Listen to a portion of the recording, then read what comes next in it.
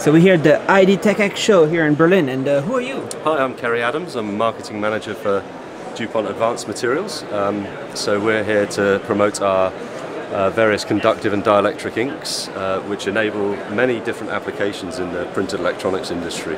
So what are we looking at here? So this is a brand new product. This is PE 410 Inkjet Silver. Um, what we have here is a demonstrator made enabled with this silver material. It's fully inkjet printed. Uh, it, enable, it uh, contains an NFC uh, activation chip and it also contains a capacitive touch switch. And uh, actually, this is just to demonstrate the technology. And what you have here on the back is the circuitry with the embedded LEDs uh, in, and you can either activate it with a smartphone or you can just do it with a capacitive touch switch. But the beauty here is it's fully inkjet printed. Fully inkjet printed, but yep. then you add the LEDs, you and that's mounted afterwards. Yeah, they're they're they're, they're, mounted on afterwards. So what's the advantage of having fully inkjet printed uh, stuff? Well, the thing is with inkjet printing, it means it gives you digital prototyping ability. So you can very quickly come up with a design, stick it in your computer, send it to your inkjet printer, and print a fully functional electrical electrical circuit or component within uh, you know a few minutes. And then with that design, you can scale up to bigger scale inkjet machines and even go into sort of uh, pilot scale production, that so sort of thing. when it's not fully e-inkjet printed, that means it's more complicated, it's more expensive? It, it's just a little less flexible on the design. So if you want to do something um, uh, via a more analog method of printing, you may have to go away and create either the printing plate or the screen, and then you have to get that made, um, and then you have to do the run, and any alterations then you have to do, you have to uh, change that plate or change that screen. Whereas this, you're just changing something on a on a computer. So this one just has the functionality there with the the LEDs lighting up. Where's it, the battery? So that's in the base here.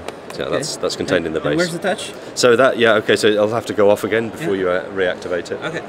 Yeah. Cool. And uh, what are you looking at here?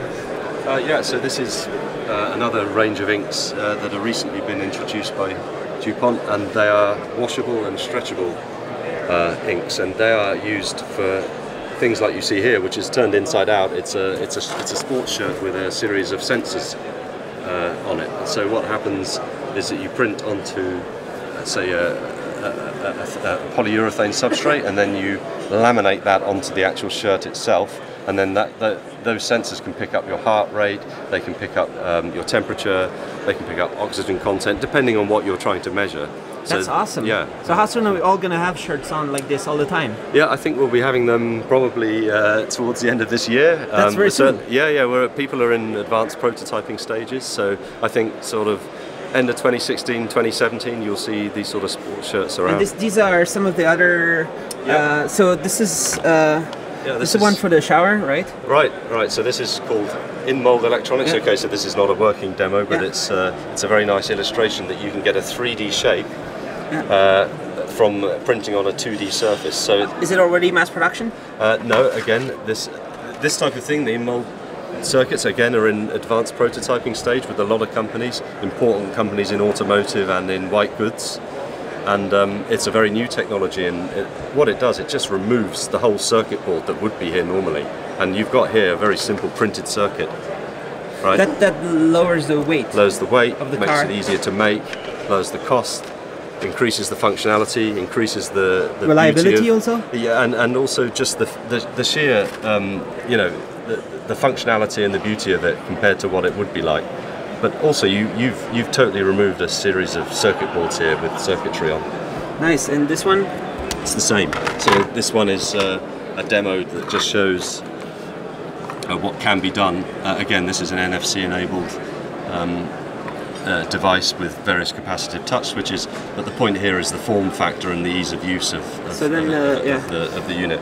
And yeah. this is uh, what you usually uh, this is already uh, being mass produced. Yeah, right? these, these, are our standard materials. So we've got silver, copper, dielectric, carbon. They're used in a variety of applications. Sorry, this one's uh, particularly uh, used in biomedical sensors, things like blood glucose sensing, and these are already in mass production, using billions of you know units. Yeah billions. Yeah. And uh, this is stretchable? Yeah, this is the same technology as I showed you on the yeah. shirt. So this gives you a nice illustration of the material. You can stretch it and it nice. still works fine, and you can wash it as well. Nice. And uh, what are we looking at over here? Uh, here we've got some new materials again. Um, so what we've developed here is uh, a, a Kapton branded ink. So Kapton is famous for, for film manufacture.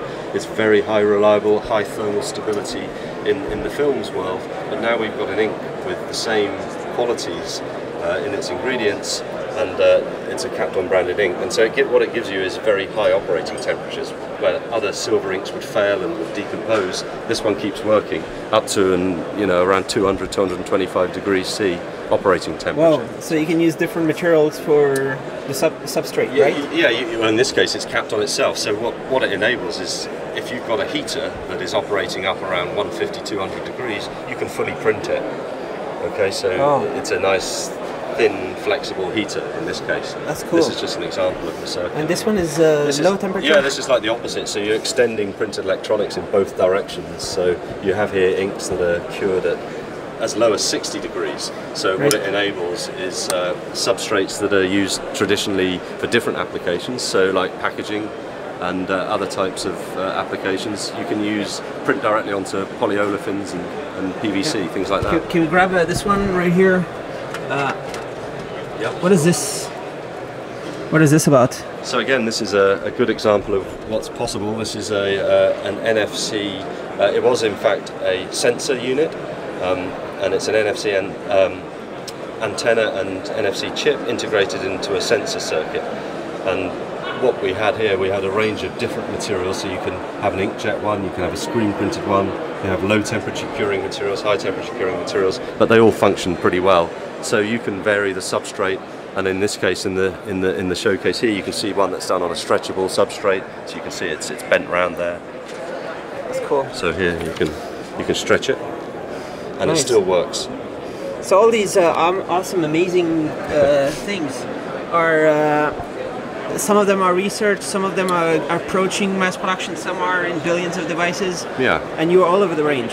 Yeah, we're on the range because we're constantly inventing new things. So a lot of the new things we're inventing, they're just coming up to being commercially available and they'll be in the market in the next year or two. And some of the more traditional things we've been making, they've been on the market for up to 50 years in some cases. And, and where do you invent those? Is it in all over the world? Yeah, it's global research and manufacturing, yeah.